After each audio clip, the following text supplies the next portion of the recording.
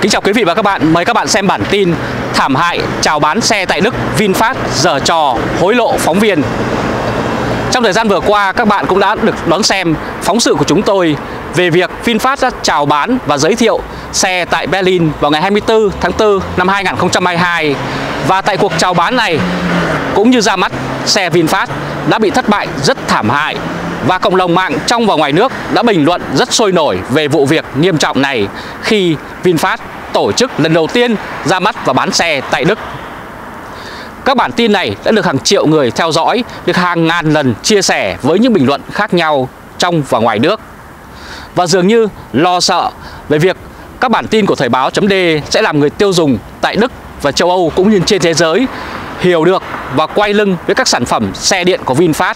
được chào bán ra, mặc dù họ chưa có sản phẩm này đưa ra thị trường thì công ty VinFast đã cho người tiếp cận, gọi điện trực tiếp cho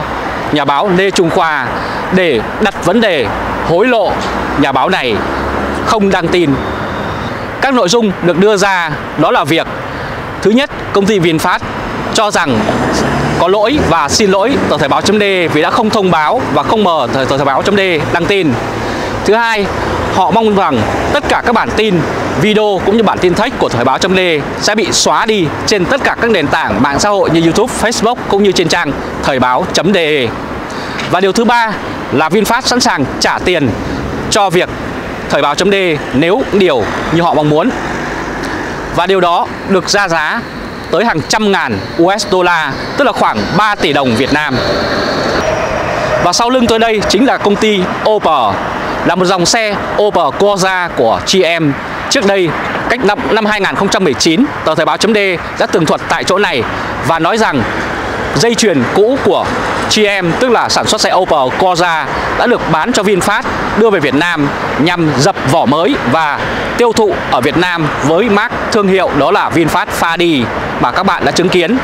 Khi đó, chúng tôi đã cảnh báo người tiêu dùng phải cẩn trọng với những sản phẩm như vậy vì độ an toàn,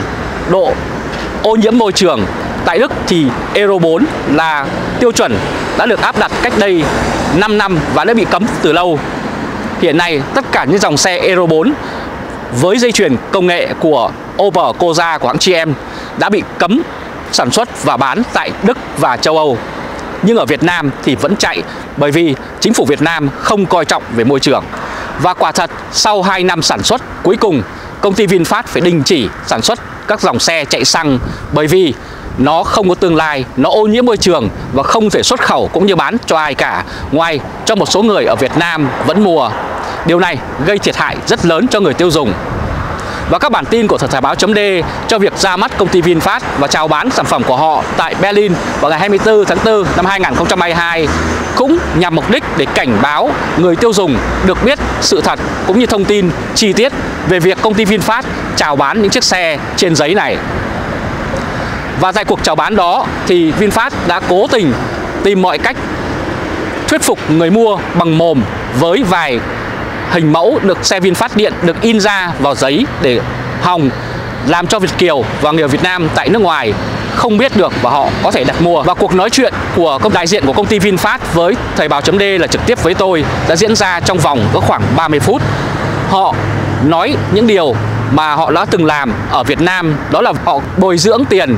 hối lộ tiền cho các nhà báo tại Việt Nam. Và thậm chí họ đã tiết lộ rằng ngay cả những blogger hàng đầu của người Việt Nam ở nước ngoài ờ, cũng đã được nhận tiền hoặc là họ đã mua những người như vậy. Và chính vì vậy mà trong nước cũng như ở nước ngoài, các bạn sẽ thấy rất ít những thông tin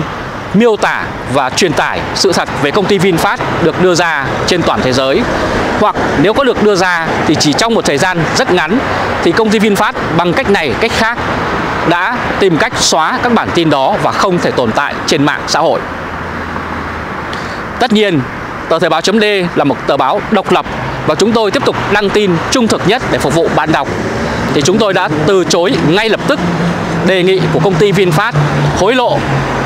phóng viên Lê Trung Khoa khoản tiền hàng trăm nghìn đô la để xóa các bản tin, các bài báo mà chúng tôi đã tường thuật về công ty VinFast trong thời gian vừa qua, đặc biệt là về việc công ty VinFast ra mắt và giới thiệu chào bán xe ở một khu rất tồi tệ tại Berlin.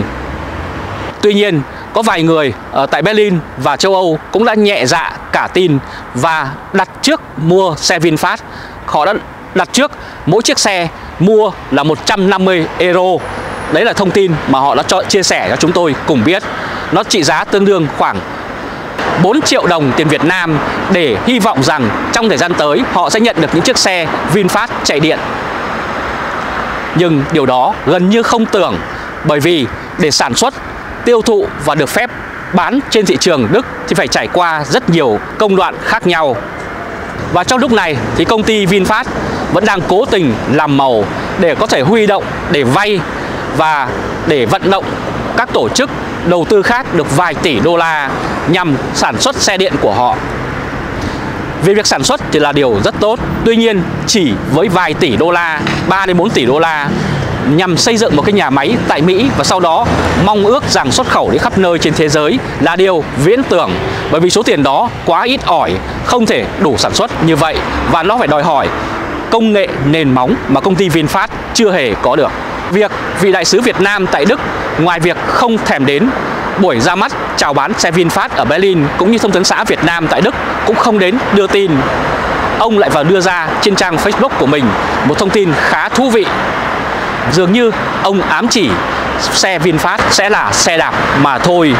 Và điều này cũng khá đúng với điều kiện và hoàn cảnh hiện nay của công ty VinFast khi chưa có tiền và đang tìm mọi cách vận động quảng bá bằng những hình ảnh bán xe trên giấy khắp nơi. Cũng không loại trừ sau vụ việc, công ty VinFast không thể hối lộ nhà báo và phóng viên Lê Trung Khoa với bản chất khó lường của mình.